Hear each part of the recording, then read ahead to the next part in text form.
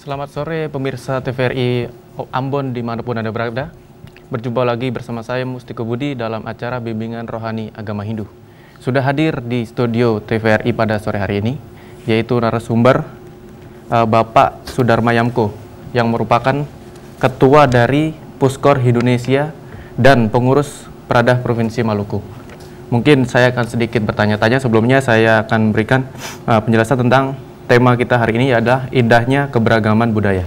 Mungkin saya akan bertanya kepada Pak Sudar Bayamko. Sebelumnya saya ucapkan salam penganjil umat Om Swastiastu, Pak. Om Swastiastu.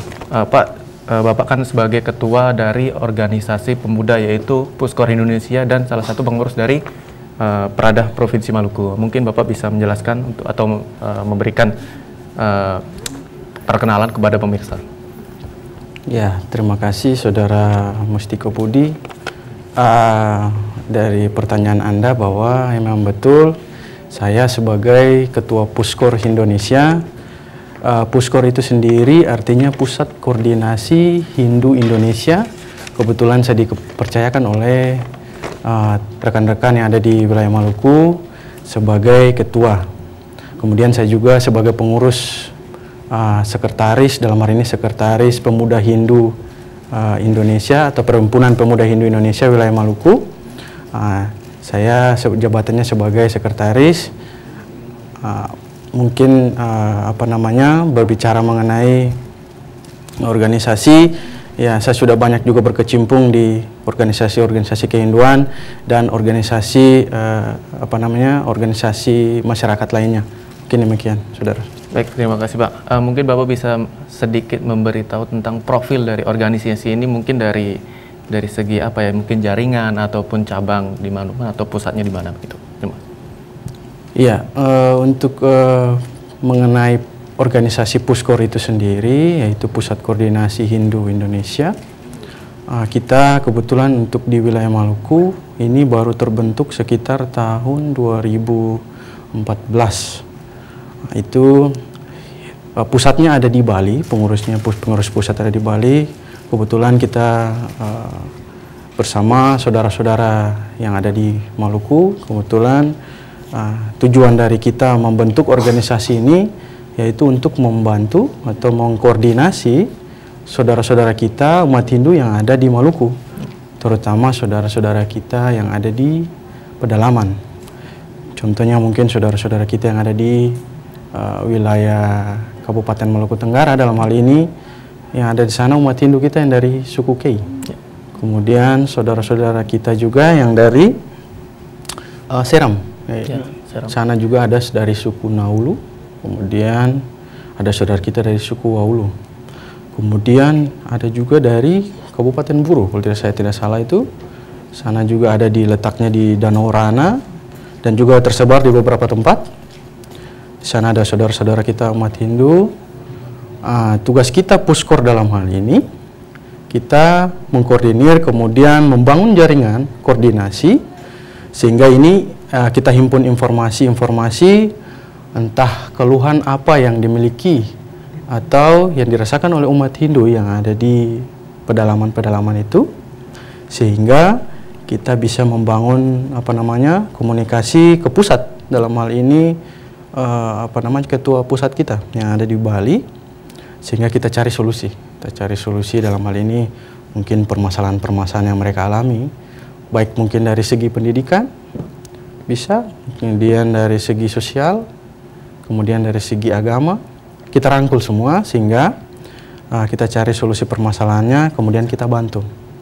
Dan kita juga sudah bergerak bergerak membantu bersama dalam hal ini kita berkoordinasi dengan Kementerian Agama dalam hal ini Pembimas Hindu.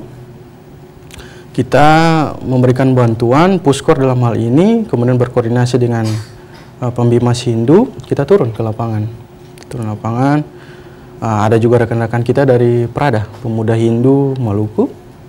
Kita datang pada waktu itu juga kita datang ke wilayah suku Waulu, kalau tidak salah. Suku Naulu juga kita datang dan kita menyerap aspirasi mereka. Ternyata mereka banyak membutuhkan buku-buku, kemudian tenaga guru dari hal-hal pendidikan yang mereka alami, masalah-masalah pendidikan.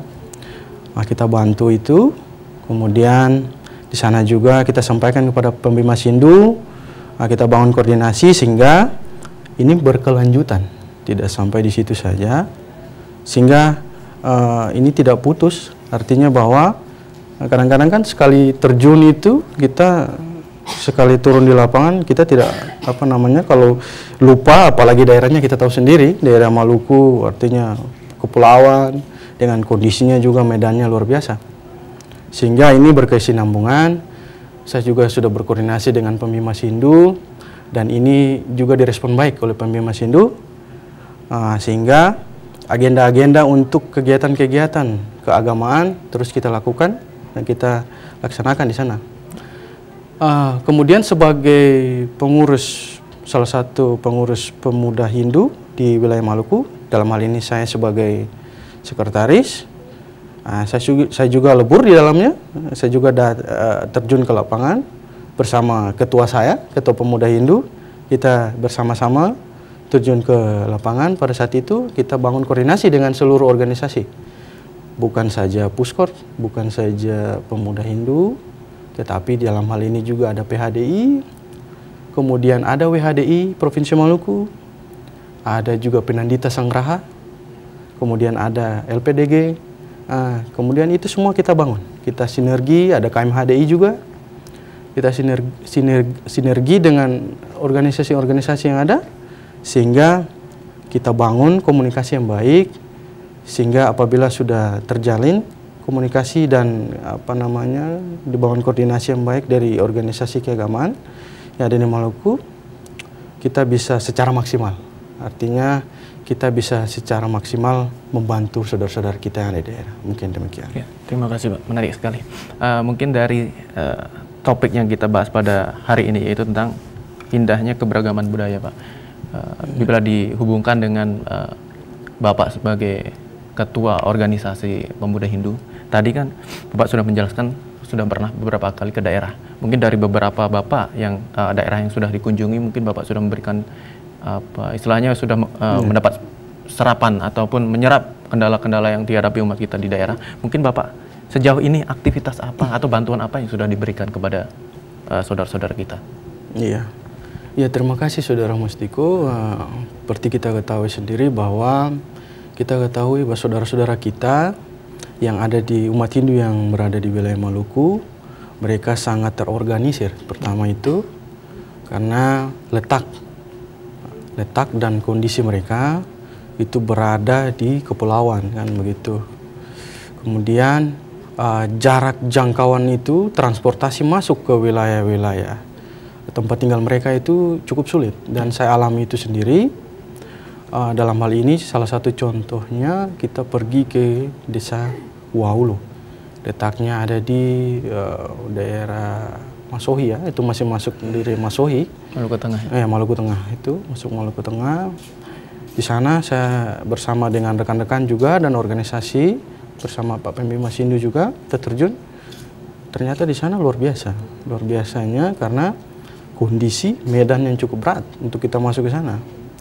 Kemudian dengan tidak adanya tenaga listrik di sana, kemudian kita lihat kondisi masyarakatnya memang masih apa namanya dibilang si tradisional, mereka kaya sekali dengan tradisi dan budaya di situ.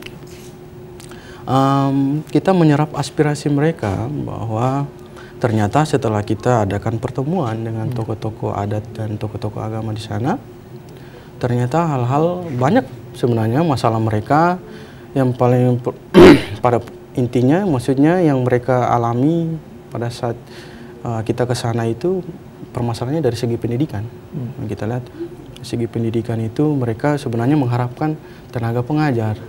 Tenaga pengajar yang mungkin bisa ada di tengah-tengah mereka. Itu yang mereka sampaikan ke kita pada waktu itu. Kemudian hal ini juga sudah direspon sama Pembima Sindu dan uh, saya lihat Pembima Sindu dalam hal ini sebagai kapasitasnya sebagai pemerintah, beliau juga kayaknya siap dan bergerak, bergerak untuk uh, mencari solusi itu, mencari solusi itu. Kemudian uh, uh, kita memberikan bantuan-bantuan pada saat itu juga. Ada bantuan juga dari rekan-rekan kita dari organisasi uh, agama Hindu lainnya. Pada saat itu kita juga memberikan bantuan buku, buku-buku agama Hindu kemudian memberikan kain sembayang. Pada saat itu Puskor juga memberikan kain sembayang pada mereka. Tentunya kain sembayang ini tidak apa namanya tidak uh, harus seperti saudara-saudara kita yang ada di Bali. Pakaian sembahyang ini ya pakaian sembahyang ini harus betul-betul kita sesuaikan dengan konsep kita di dalam Hindu yaitu ya. desa Kalapatra. Ya. Desa Kalapatra artinya kita sesuaikan dengan kondisi, waktu dan tempat budaya uh, masing-masing. Uh, ya. Karena di dalam konsep Hindu tidak ada pemaksaan ya. untuk pakaian sembahyang itu sendiri. Sehingga uh, sembahyang sesuai dengan budaya dan tradisi mereka. Nah, kita berikan itu. Hmm sehingga tidak ada kecenderungan menggeser budaya mereka dan ya. memasukkan budaya Bali tidak ada seperti itu nah, kita berikan apa namanya bantuan-bantuan itu berupa ya ada kain-kain ikat kepala merah itu kalau ya. tidak salah juga kita berikan itu ya. Kalau tidak salah waktu itu kita berikan ikat kepala merah sesuai dengan um, budaya mereka juga di sana tradisi mereka. Sehingga harapan kita bahwa um, apa namanya bantuan-bantuan yang kita berikan ini ya tidak banyak, ya. namun apa namanya bisa menyentuh, bisa menyentuh ke mereka. Sehingga ini sebenarnya yang kita ingin sampaikan bahwa perhatian kita sebenarnya yang mereka inginkan dari hasil uh, diskusi kita dengan uh, kelompok apa namanya tokoh adat di sana sebenarnya mereka menginginkan perhatian sebenarnya perhatian kita sehingga um, kita tidak apa namanya saudara-saudara kita atau organisasi yang ada di provinsi sering-sering turun ke daerah sehingga uh, perhatian itu sangat mereka butuhkan hmm. itu pada intinya sehingga pada saat kita membantu mereka uh, kita sampaikan bahwa ini akan terus berkesinambungan uh, tidak putus sampai di sini saja dan kita sampaikan kalau memang saudara-saudara kita yang um, apa namanya uh, memiliki permasalahan, permasalahan-permasalahan di daerah, segera menyampaikan ke kita organisasi, baik ke pemerintah dalam hal ini Pembimas Hindu, sehingga ada tindak lanjut seperti itu. Kemudian permasalahan-permasalahan berikut mungkin dari uh, segi apa namanya, um, segi kalau kita berbicara agama, kita harus juga berbicara mengenai kehidupan mereka kan, tentunya bagaimana umat kita mau mencari makan kan begitu? Mencari makan dengan kondisi keadaan yang sangat apa namanya sangat jauh kemudian pelosok seperti itu. Artinya kita juga menanyakan maksudnya ya. tentang bagaimana kehidupan mereka kan seperti itu kita tidak tahu saja berbicara agama di situ karena ya. kita tidak kenyang secara rohani kan seperti itu kita harus berbicara bagaimana uh, mereka apa namanya fondasi. Uh, iya, ekonomi mereka harus bergerak seperti itu. Sehingga kita berbicara memberikan solusi kira-kira bagaimana menggerakkan roda ekonomi mereka di situ. Usaha-usaha atau hasil-hasil bumi di situ mungkin kita bisa berbicara dengan umat-umat kita atau organisasi kita supaya bisa membantu menggerakkan roda perekonomian mereka mungkin dari produk-produk makanan hasil olahan makanan mereka ya. yang kan mungkin pisang seperti Betul. itu mungkin melimpah kan mungkin Betul. sebagai contohnya mungkin melimpah pisangnya banyak kemudian ubi kan ya. gitu kan banyak tapi kalau tidak ada pemasaran kan percuma juga kan kasihan juga seperti itu sehingga sampai si detail itu kita tanyakan kira-kira seperti apa sehingga kita carikan solusi bersama-sama.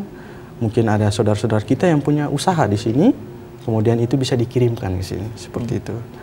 Kemudian kita juga sampaikan dari segi pendidikan juga pada saat itu uh, pembimas Hindu dalam hal ini juga uh, menyampaikan bagi uh, anak-anak uh, mereka yang berminat untuk uh, melakukan studi atau pendidikan di apa namanya sekolah Hindu, sekolah agama Hindu, baik yang ada di apa namanya di daerah Bali ataupun di daerah kita tahu sendiri bahwa sekolah tinggi agama Hindu tersebar di seluruh Indonesia. Ada terakhir di daerah apa Nusa Tenggara Barat yaitu Stah Gede Puja itu. Nah pembimas menyampaikan pada mereka bahwa siapa yang tertarik atau adakah anak-anak anak-anak umat Hindu kita yang tertarik untuk uh, mengikuti pendidikan tinggi atau yang sudah selesai lulus SMA untuk sekolah lanjut dan akan mungkin diusahakan untuk beasiswa. Ya. Dan itu direspon baik bagi saudara-saudara kita yang ada di suku Waulu maupun suku Naulu sehingga uh, itu direspon baik dengan uh, terwujudnya apa namanya salah satu warga atau suku umat kita yang ada di Waulu yang uh, pergi untuk bersekolah atau ya. mengambil jurusan agama Hindu itu sendiri. Ya. Uh, ini kan tentunya uh, harapan baik ya bagi ya. kita karena um, ini juga membangun uh, pendidikan perkembangan pendidikan anak-anak uh, kita kan ya. yang ada saudara-saudara kita yang ada di Wolo Nah, ini artinya membangun generasi penerus ke depannya nanti akan bisa membimbing saudara-saudaranya sendiri. Hmm. Nah, kita harapan kita kan seperti itu. Nah, sehingga uh, dengan bantuan dari Kementerian Agama dalam hal ini Pembimas Hindu uh, dan juga organisasi-organisasi kita yang membantu untuk uh, apa namanya membangun komunikasi dengan mereka sehingga apa namanya orang tuanya percaya apa mempercayakan hmm. anaknya sehingga berkuliah dalam hal ini kalau tidak saya tidak salah itu di daerah Lombok ya, hmm. eh Nusa Tenggara Barat. Nah, di sana ada salah satu perguruan tinggi agama Hindu dan dia bersekolah di sana dan kemudian dia mendapatkan beasiswa. Ya. Nah, sampai saat ini proses kuliahnya masih berjalan. Mungkin demikian. Ya. Terima kasih Pak. Mungkin uh, sedikit saya beritahukan kepada pemirsa ya. bahwa uh, kita tadi ngobrol-ngobrol di belakang bahwa Pak Sudarma Yamko ini adalah salah satu putra asli dari Maluku, betul Pak ya? Iya. Uh, beliau juga uh, salah satu sudah kenyang pengalaman, sudah tinggal lama di Jakarta dan juga di Manado. Mungkin dari pengalaman Bapak ini apa ya, yang dimaksud dengan keberagaman ini Pak menurut dengan konsep Hindu? Iya. Ya terima kasih Saudara Mustiko. Um, betul sekali seperti yang tadi mungkin Saudara katakan bahwa saya salah satu putra asli daerah sini. Ya betul bahwa Uh, seperti yang diketahui bahwa saya memang putra asli Maluku, asal saya dari uh, Kabupaten Maluku Tenggara, kelahiran saya saya asal dari Kei, kemudian saya berasal dari suku Kei, desa saya dari Tanimbar Kei. Ya. Di sana memang kalau kita berbicara mengenai uh, umat Hindu berarti uh, kita tahu sendiri bahwa banyak juga saudara-saudara kita yang ketahui bahwa umat Hindu itu sendiri uh, notabene mayoritasnya ada di uh, Desa Tenberkei dalam hal ini Kabupaten Maluku Tenggara. Di situ saudara-saudara kita uh, jumlah kita sekitar 100 sampai 200 kakak. 100 sampai 200 kakak di situ. Uh, kita apa namanya? Memang di situ asli kita, kita asli di situ, penduduk asli umat Hindu.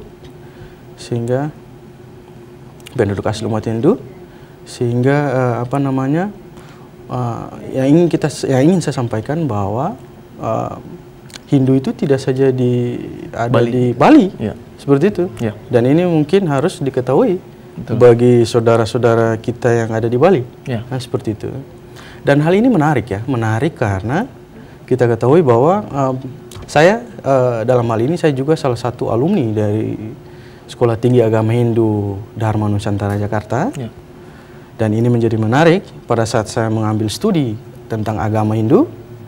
Ini menjadi menarik karena menjadi bahan perhatian bagi ya. tenaga pendidik saya hmm. seperti itu.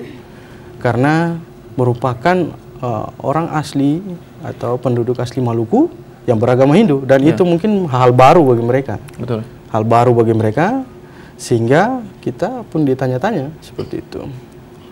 Ya, kita ketahui sendiri bahwa perkembangan agama Hindu dari zaman kerajaan Majapahit itu tersebar di Nusantara kan seperti itu. Jadi sebenarnya tidak per, tidak bukan hal baru lagi untuk kaget kan sebenarnya seperti itu. Tapi namanya apa namanya saudara-saudara kita juga mungkin belum ke daerah-daerah pelosok atau daerah pedalaman ya. makanya saya maklumi bahwa mereka juga belum mengerti atau belum tahu kan informasi ya. seperti itu. Kemudian uh, kita berbicara mengenai yang tadi dikatakan bahwa tentang keberagaman. Keberagaman. Kalau kita berbicara mengenai keberagaman, yaitu kita tahu berbicara keberagaman itu berarti artinya tentang perbedaan ya. Betul. Perbedaan. Um, keberagaman itu sendiri artinya perbedaan yang mana perbedaan itu sebenarnya kita tidak artinya tidak tidak bisa harus men, menjadikan itu sebagai suatu uh, permasalahan hmm. seperti itu. Kan sekarang banyak kita lihat uh, apa namanya perbedaan-perbedaan yang uh, apa namanya harus perbedaan-perbedaan uh, yang membuat seseorang itu harus menjadi uh, saling menyakiti dan sebagainya itu seharusnya tidak perlu seperti itu. Perbedaan itu indah seperti halnya uh, kita melihat pelangi kan seperti itu itu warnanya berbeda-beda kemudian itu membuat suatu hal yang enak dipandang mata seperti ya. itu. Sehingga uh, keragaman itu perlu dijaga. Uh, keragaman itu perlu di apa namanya perlu dilestarikan kemudian perlu di apa namanya uh, perlu dipupuk seperti itu ibaratnya. Sehingga hmm, apa namanya harmonisasi atau hubungan harmonis antara uh, baik uh, intern kita umat Hindu maupun ekstern dalam hal ini uh, umat Hindu kita dengan uh, apa namanya umat agama lain ya. seperti itu mungkin demikian. Baik terima kasih. Uh, itu tadi tentang uh, konsep keberagaman mungkin jika dihubungkan dengan konsep di dalam agama Hindu mungkin yang cocok adalah konsep yang bagaimana itu Pak? Iya betul sekali. Ya, terima kasih mungkin uh, Pak Mustiko.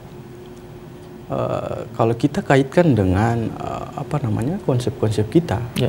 keberagaman dengan konsep-konsep di dalam agama Hindu, ya. tentunya sangat banyak ya kalau mau hmm. dibilang hmm. konsep kita. Keberagaman itu juga tertuang di dalam konsep uh, tatuamasi. Ada tatuamasi, ya. yang mana artinya bahwa saya adalah kamu kamu adalah saya. Ya. Seperti itu. Sehingga di situ ada nilai timbal balik. Seperti itu. Kalau saya berkata bahwa saya adalah kamu, maka apa yang saya perbuat, apa yang saya lakukan kepada Anda, ya. harus saya pikirkan dengan baik karena hmm. saya adalah kamu kan begitu. Betul. Seperti itu. Sehingga apa yang saya lakukan kepada Anda itu saya berpandangan bahwa Anda adalah saudara saya seperti itu. Hmm. Sehingga uh, hubungan kita atau hubungan hubungan apa namanya timbal balik itu menjadi harmonis tidak ada apa namanya pemikiran-pemikiran yang menyakiti Siap. seperti itu karena uh, dalam konsep Hindu tentang tatwam asi kemudian ada juga konsep tentang yang dikatakan wasudewa kutumbakam atau kita semua bersaudara Betul. itu sudah jelas di itu sebenarnya bahwa uh, apa namanya uh, keberagaman itu. Keberagaman itu memang sudah ada di dalam konsep Hindu sehingga uh, apa namanya perlu kita jaga uh, kita beranggapan bahwa di dalam Hindu bahwa kita itu uh, semua bersaudara kan seperti itu. Kemudian hal ini juga tertuang di dalam konsep Trita Karana. Yeah. yang mana apa namanya di situ berbicara tentang uh, hubungan Trita Karana yaitu hubungan yang harmonis antara manusia dengan Tuhan dan hubungan yang harmonis antara manusia dengan uh, manusia ya. dan hubungan yang harmonis antara manusia dengan alam Betul. seperti itu. Uh, di sini konsep hubungan manusia dengan apa namanya dengan Tuhan ini kita harus membangun hubungan yang harmonis dalam arti bahwa kita sebagai pemeluk atau umat Hindu, kita harus mensyukuri mensyukuri bahwa pada saat ini kita sudah diberikan kesehatan, kemudian diberikan nafas, ya. bekerja sehari-hari beraktivitas seperti itu, sehingga dalam proses pelaksanaan kegiatan kerja kita sehari-hari berjalan dengan lancar. Ya. Gitu. Kemudian hubungan manusia dengan manusia, nah, di sini hubungannya harmonis antara manusia dengan manusia itu artinya nah, kita berbicara manusia dengan manusia berarti kan tidak saja pada tataran agama saja kan Betul. begitu kita berbicara manusia dengan manusia satu dengan manusia yang lainnya ya. berarti kita berbicara sudah lingkupnya lebih luas ya. antara manusia yang agama satu hmm. dengan manusia dengan saudara kita dari agama yang lain kan seperti itu bunyinya kan ya. sehingga uh, itu keberagaman itu atau perbedaan itu kan kita harus jaga bukan menjadi suatu pembatas, dinding pembatas, tidak seperti itu. Hmm. Sehingga di dalam konsep ini kita di kita diajak untuk sama-sama untuk membangun hubungan yang harmonis di situ sebenarnya. hubungan yang harmonis antara pemeluk agama satu dengan agama yang lain, antara budaya satu dengan budaya yang lain, Ya. seperti itu. Nah, kemudian hubungan manusia dengan alam semesta. Nah, ini yang memang harus betul-betul kita jaga. Hmm. Kalau berbicara mengenai konsep alam, di situ berarti uh, apa namanya ada ada tanggung jawab manusia di situ untuk menjaga alam semesta, kan begitu.